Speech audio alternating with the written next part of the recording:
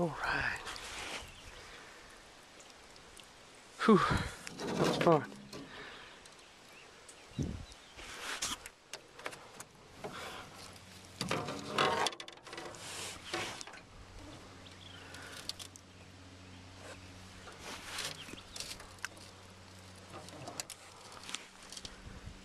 Man, what a nice, pretty, healthy fish.